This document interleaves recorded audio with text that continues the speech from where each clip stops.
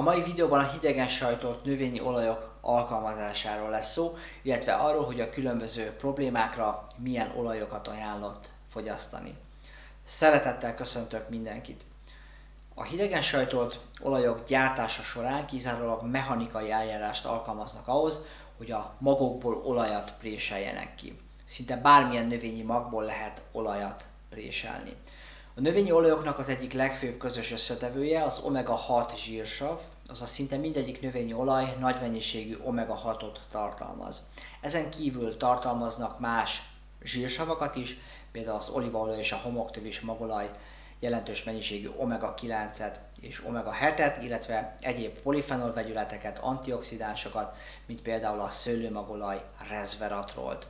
Tehát a fő összetevőjük az omega-6, melyhez egyéb zsírsavak, vitaminok, antioxidánsok társulnak a különböző olajokban, és ezek határozzák meg az adott olaj terápiás jellegét. Az omega-6 hiánya gyengeséggel jár, lassítja a növekedést és rontja a tanulási képességet, tehát gyerekkorban mindenképpen problémás, ha alacsony a szintje, és fontos szerepe van az omega-3-mal együtt, a tüdő oxigénnel történő ellátásában is. Három olyan növényi olaj van, amelyben az omega-3 aránya jelentősebb, ez a lenmag, a csiamag és a dióolaj. Az omega-3 és az omega-6 ideális aránya egy az egyhez lenne a szervezetünkben, azonban azáltal, hogy mind az éttermek, mind az emberek otthon a főzéshez, mind a boltokban kapható ételek elkészítésénél 10-ből 9 esetben növényi olajokat használnak, ezért a legtöbb embernél jóval magasabb az omega-6 arány az omega-3-hoz képest. Éppen ezért, ha növényi olajokat pótolunk, fontos, hogy magas omega-3 tartalmú ételeket, étrendkiegészítőket is fogyasszunk, például halételeket, halolajat, krillolajat, csukamájolajat, algaolajat, marhahúst, tojást. A hidegen sajtolt olajokat fogyaszthatjuk önmagukban, vagy salátákra öntve is, ha önmagában esszük, egy evőkanállal vagy teáskanállal vigyünk be belőle étkezés közben vagy mindjárt étkezés után.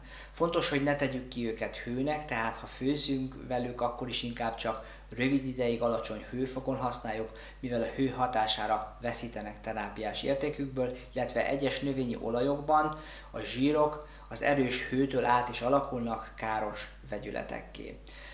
Ha meleg ételeket szeretnénk használni őket, a legjobb megoldás, ha az elkészült ételt meglocsoljuk a végén az adott olajjal.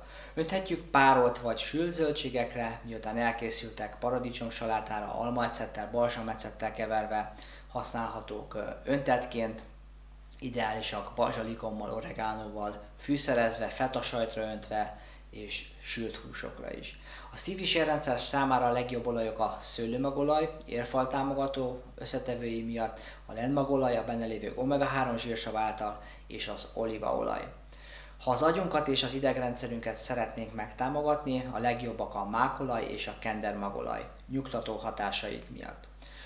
A máj támogatásához a homoktövis magolajat és a máriatövis magolajat alkalmazok, az előbbi az E-vitamin és a sok antioxidáns, az utóbbi pedig a szilimarin tartalma miatt. Székrekedésre, vagy a beleinkbe, vagy ha beleinkbe szeretnénk gyulladást csökkenteni, használjuk a lenmagolajat és a szőlőmagolajat. A homoktövis magolaj nagy koncentrációban tartalmaz E-vitamint, karotinoidokat, beta-szitoszterolt, flavonoidokat, polifenolokat, ezért az egyik legjobb olaj gyulladás csökkentéshez és immunerősítésre. A hormonok termelődéséhez, a hormonrendszer egyensúlyához fontosak a zsírsavak, a zsírok, elsősorban az állati eredetűek, de a növényi eredetűek is. A legjobb hidegen sajtolt olajok a hormonrendszerünk számára a lenmagolaj, a tökmagolaj, az olívaolaj, a mogyoróolaj és a kókuszolaj.